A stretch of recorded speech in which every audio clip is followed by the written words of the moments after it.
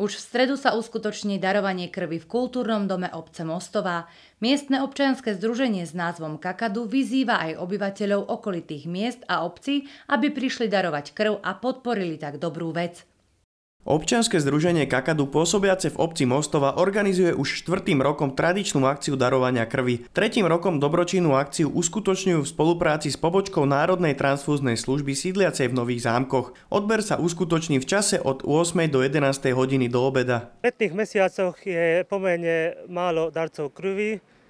Máme také skúsenosti, že, e, že nám príde okolo 20 to je bohužiaľ málo. Občianske združenie práve preto apeluje aj na účasť prvodárcov, nielen pravidelných darcov krvi. E, celá táto akcia bude organizovaná v priestore kultúrneho domu Mostovej. Poprosíme darcov, aby deň pred, e, pred samotným darovaním nejedli masné jedlá na večer, nepili alkohol, ráno, aby pišli na lašno a aby pili veľa čekutín. Rovnako sa pred darovaním krvi odporúča tiež dostatok spánku, aby sa predišlo prípadným komplikáciám. Prvodárcov krvi často zaujíma aj to, čo je potrebné si so sebou v rámci registrácie priniesť. Prvodarcovia si na darovanie krvi pripravia občiansky preukaz a zdravotnú kartičku a darcovia krvi si prinesú občiansky preukaz, zdravotnú kartičku aj preukaz darcu krvi. Krvnú skupinu nie je potrebné vedieť. Pozreli sme sa však aj na okolnosti, vplyvom ktorých nie je možné stať sa darcom krvi.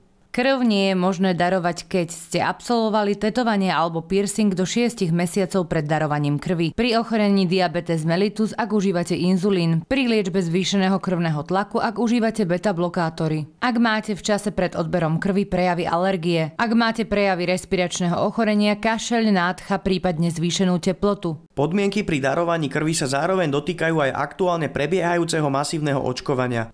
Darca, ktorý podstúpil očkovanie proti ochoreniu COVID-19, môže znovu darovať krv najskôr 14 dní po aplikácii každej očkovacej dávky mRNA vakcín značky Pfizer či Moderna alebo proteínových vakcín Novavax a Sanofi. V prípade vektorových vakcín značky AstraZeneca, Johnson Johnson či Sputnik ide o 28 dní po aplikácii každej očkovacej dávky.